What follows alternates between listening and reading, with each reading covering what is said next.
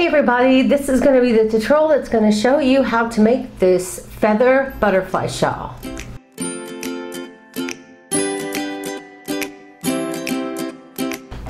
And this butterfly shawl is the 10th one in the series. I had debated whether or not to make a book. I'm still not 100% sure, but my husband asked me, do I plan on continuing to make more butterfly shawls? And I said, yeah, of course.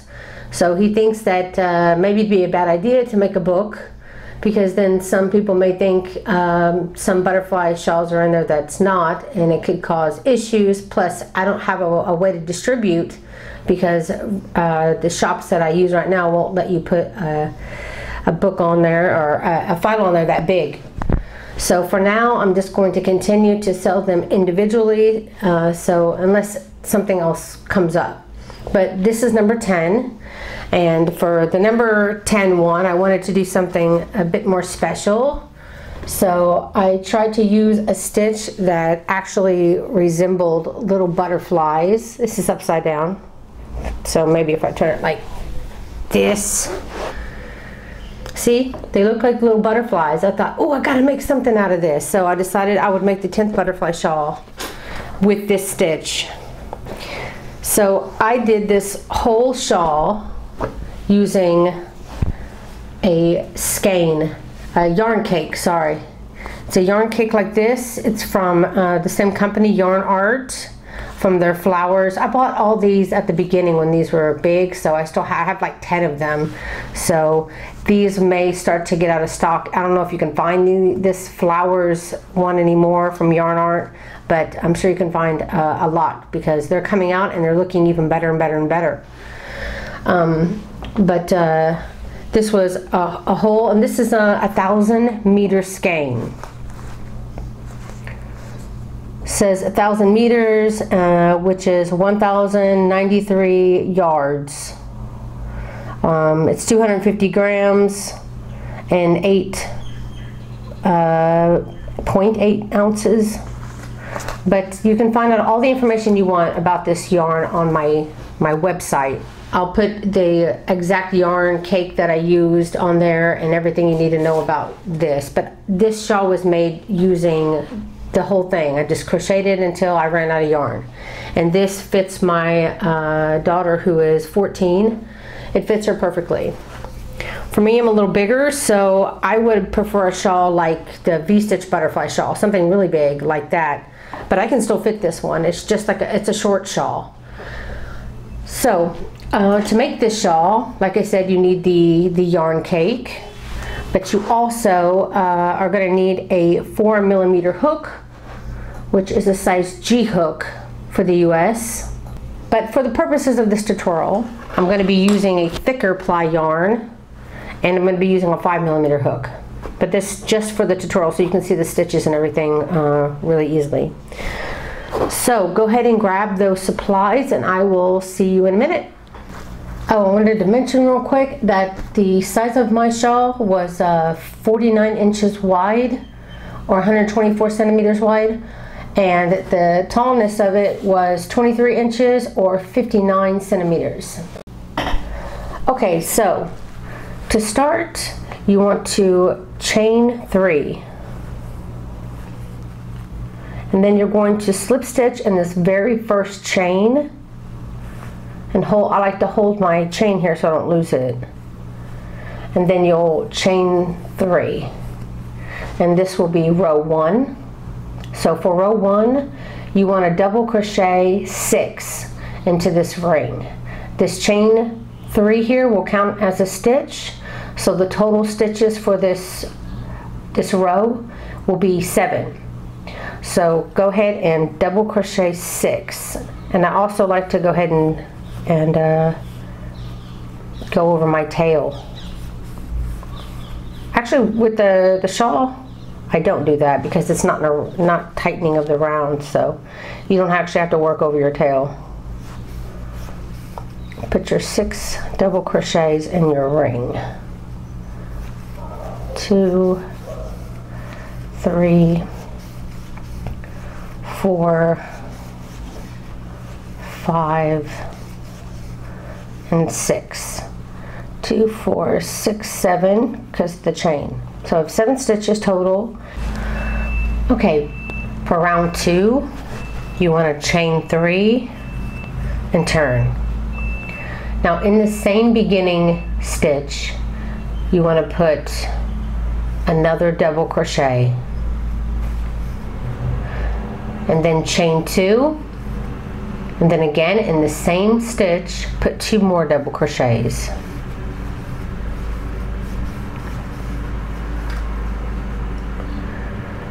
Then you're going to skip the next stitch next post. And then the following one you're going to put let me just make sure here skip a stitch then yeah then double crochet. You're going to repeat the same thing for the rest of the row. You're going to skip a stitch two double crochets chain two and then two double crochets back into that same stitch. I like to follow along just to make sure that I'm getting the right see this one is the one that I just worked the shell in. Then we're going to skip this next one so then the next stitch you want to repeat the double crochet two chain two and double crochet two all worked into that same stitch.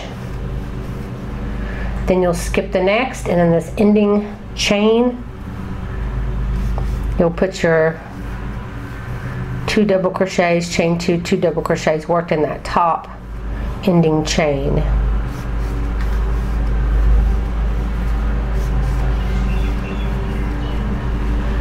and that gives you four individual little spaces. Okay, for row three, I don't know if I'm too close here. Okay, so you want to chain three and turn.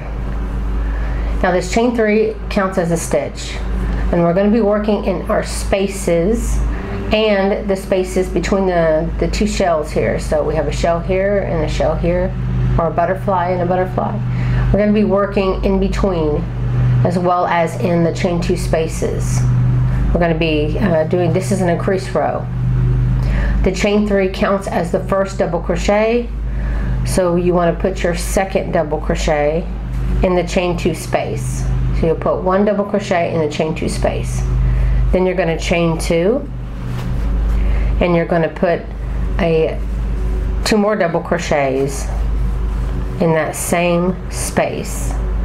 So it's just like you were doing before, but the chain three will count as that second part of the shell. But from now on, in all the spaces in between and in the spaces, all these spaces you're in this row, you're going to be putting two double crochets, chain two, and two double crochets.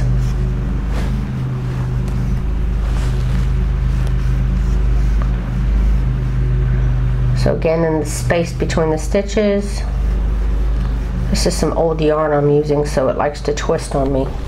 Put two double crochets, chain two, and then in that same space, put two more double crochets.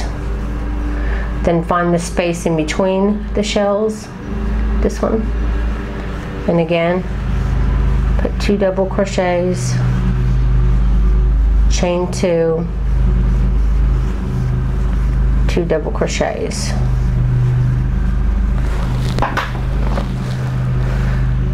Then in the next one,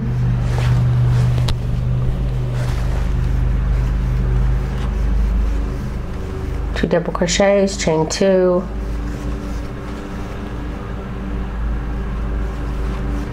then two double crochets. Ah, my yarn is getting so old. I really need to trash this yarn.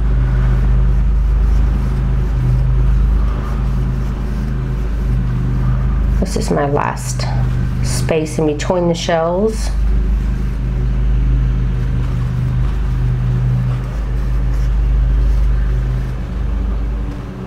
I think I'm going to throw this yarn away after this tutorial is over. This will be the, its last job. Okay, in the last stitch here, we put my last two double crochets, chain two, and two double crochets. Okay so that was the end of row three. So for row four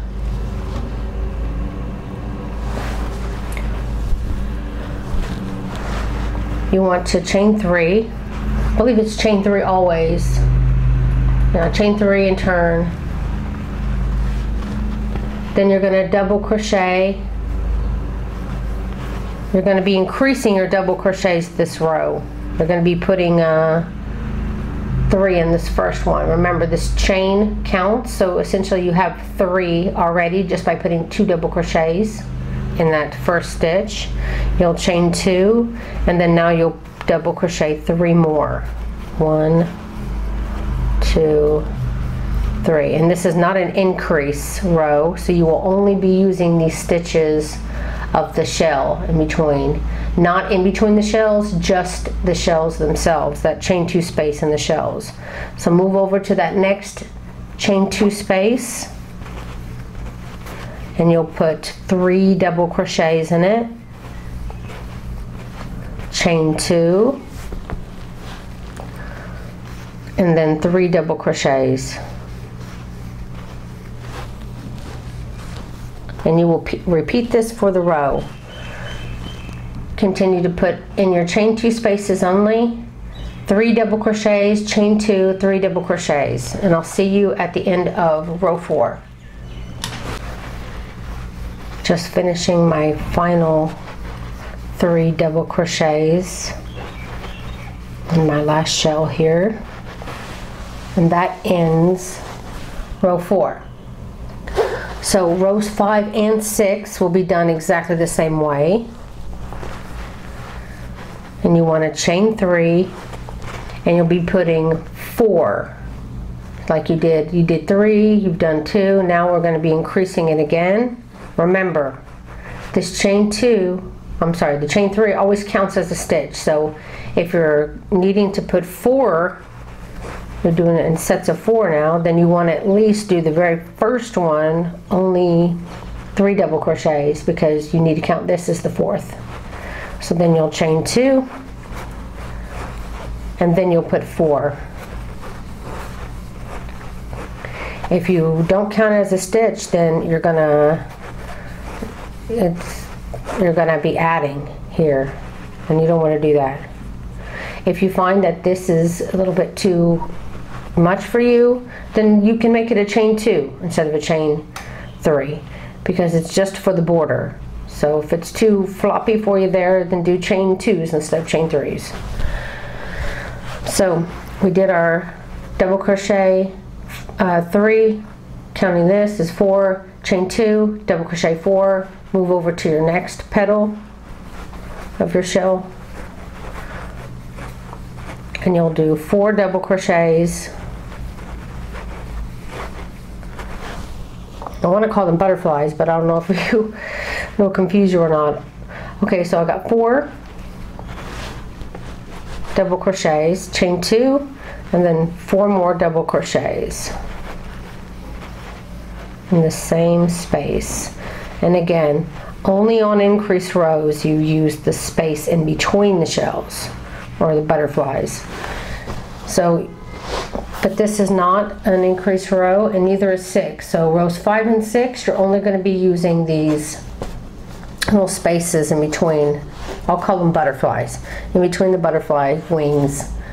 So go ahead and put double crochet uh, four, chain two, double crochet four in each one for row five, and then chain three and turn, and then do the exact same thing again. You'll put three at the beginning, because remember your chain will count. Then you'll chain two, put four, and then each one you'll put double crochet four, chain two, double crochet four, and continue that to the end. So I'm going to see you at the end of row six.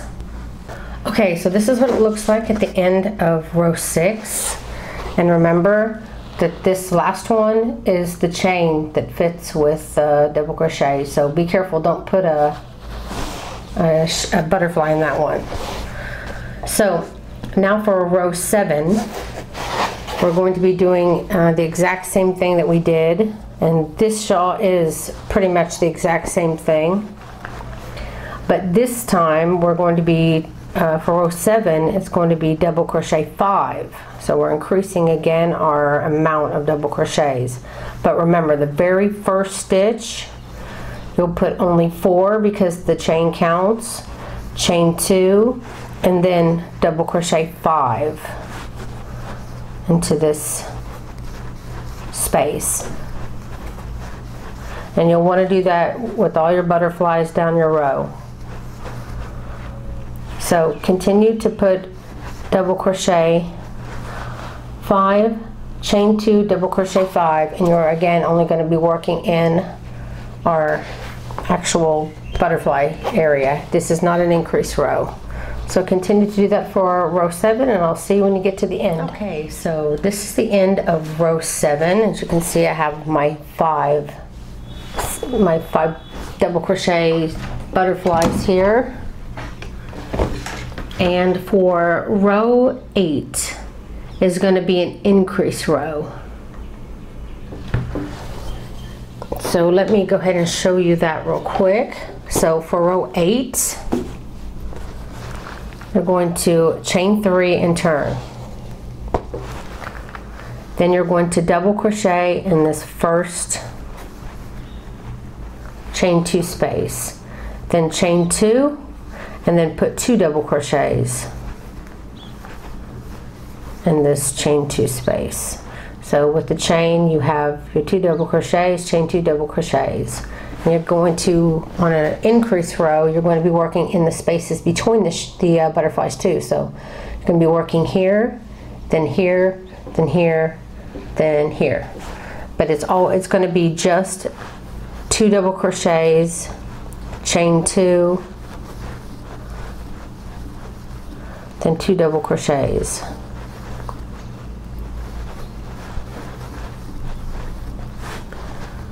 so then in the next in my peak area do my two double crochets chain two two double crochets and then in the space between do two double crochets chain two two double crochets so go ahead and do that for this row, row eight, and I'll see you when you get to the end. And I ran out of my tutorial yarn I was using. I was hoping I'd at least get to the end of this row because this is the last row I really need to show you. Wanted to show you the, the increase row, which I just did with the two double crochets worked in between and in. And that is on row eight. Row eight is an increase row, and then uh, you'll have another one, one more later. I'll show you in a second. I just want to tell you that um, for row nine, which is the next one, uh, you're going to go back to using only the peak areas. Well, actually, the only peak areas. You have these now too. So in between those two is now the, the extra. So you're going to be using each one. So in between each uh, double crochet chain two double crochet in this next row row nine you're going to be increasing again not increasing but increasing the number of double crochets you use. So for row nine you'll chain three and turn and then in the first which is this one because that's your chain three space so don't use that you'll put three double crochets chain two three double crochets. Except for the first one here you'll you'll put two double crochets chain two three double crochets because the chain three will count. Then you'll move over to your next chain two space and put your three double crochets chain two three double crochets and you'll continue that all the way to the end. And then for 10 and 11 we're going to do like we did for rows 5 and 6 you'll have four double crochets chain two four double crochets in all of your spaces. So it's basically just going to be a repeat and then you'll have uh, the last row that we did with the five double crochets chain two five double crochets. But then um, you'll have actually an increase after that. So instead of your instead of doing like we just did the five double crochets chain two five double crochets and then you did an increase you'll actually do uh, the next row, which will be six double crochets, chain two, six double crochets. And you'll do that for rows 14 and 15. And I'm gonna, to write on this tutorial here, I'll put up something so you can easy, easily follow.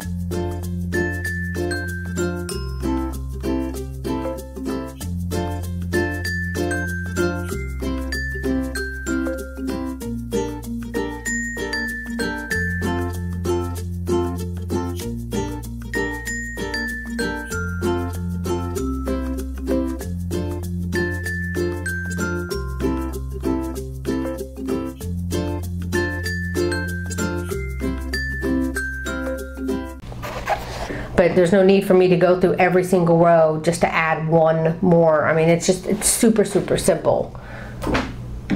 By now you know which stitches you're working in and how to do an increase. So that is what you'll have to continue doing. Now I want to show you on this actual shawl here. As you can see, maybe you can see, see?